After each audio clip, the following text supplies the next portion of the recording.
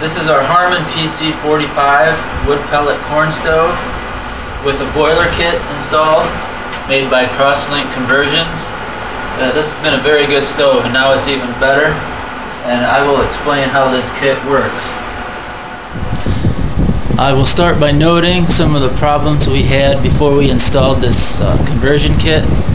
Um, just like any other corn stove or pellet stove, uh, the biggest problem is trying to get that heat distributed throughout the whole house. Um, our upstairs bedroom would be uh, 10 to 15 degrees colder than the main floor and of course the basement wasn't heated at all and the rooms on the opposite side of the main floor from the stove like the bathroom uh, were about 10 degrees cooler than the living area so with this kit I can make the hot water and distribute that heat throughout the house. So it saved quite a bit, uh, we saved quite a bit of money and it's much more comfortable. We use about a bag and a half on a typical winter day, uh, not quite two bags on the coldest days, but uh, so to give you an idea of what we're heating with that quantity of fuel, uh, I'm in northern Illinois uh, the house, it's an old it's an old farmhouse built in 1905. Uh, deep deep basement. The house itself has uh, below average insulation, and the basement's not insulated at all. As you can see, the concrete blocks.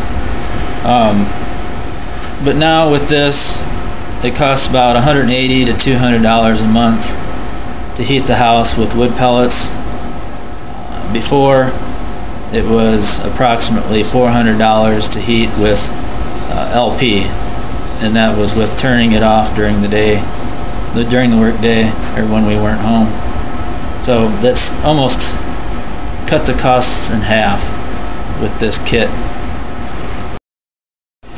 So before this kit we were heating 800 square feet just the main floor. Now we're heating the whole house. Um, so to sum it up, you know, we're saving a lot of money with this kit.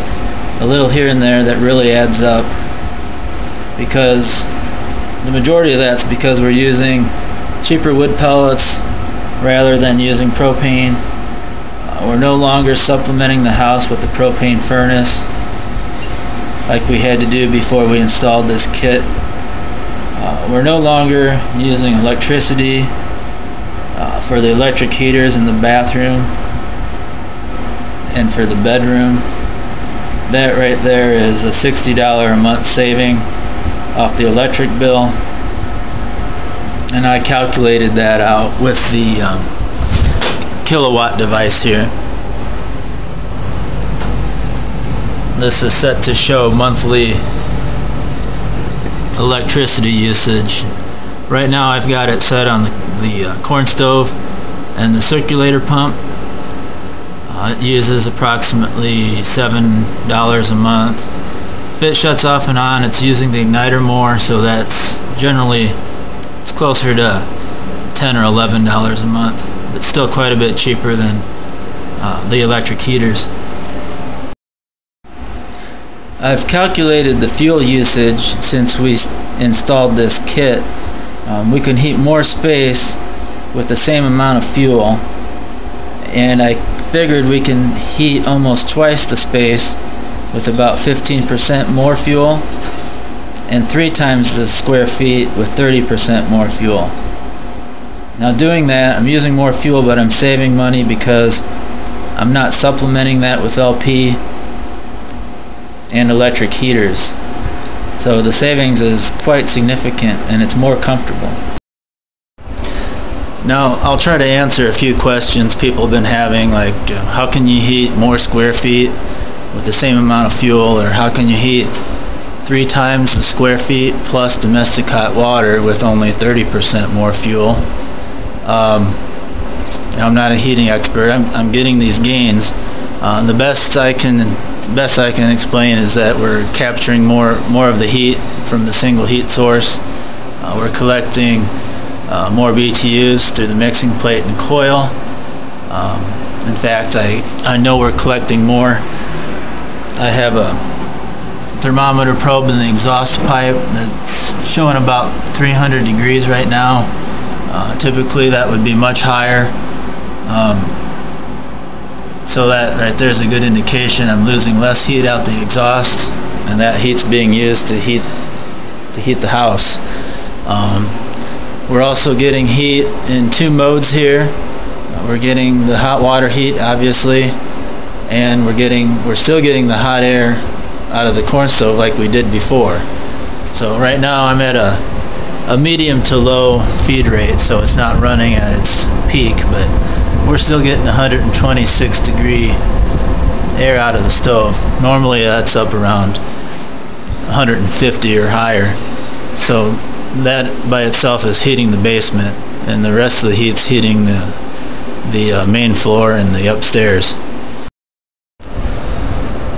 So with those gains, I think uh, those gains in addition to the fact that we can now take that those BTUs and distribute them throughout the house more efficiently than before. You know, before uh, the air came out of the stove, would rise to the ceiling. Um, that's why we would have 80 degree temperature at the ceiling, 70 degrees at the thermostat, and then the floor was at 60 degrees.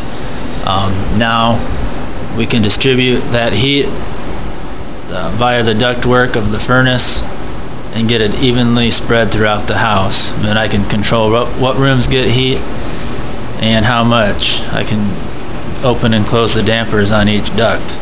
Um, so there's much more control and it's much more even and it's much more comfortable. Another way we're saving with this is that it now provides our entire supply of domestic hot water. I've got this hooked up to uh, a homemade tube and tube heat exchanger at the hot water heater. So it's able to provide 30 gallons of hot water uh, once again eliminating the need for propane. Other gains might come from the fact that uh, uh, we don't have to heat the living room to 76 degrees to get the farther rooms warmer um, the stove now runs at a constant rate. It doesn't shut off and on. Um, another big improvement with this is that uh, now that we use the ductwork we can take advantage of the uh, whole house humidifier that I installed. So um, puts humidity in the air, which helps in the winter, and it allows us to uh, turn the thermostat down a couple degrees, and it still feels still feels comfortable.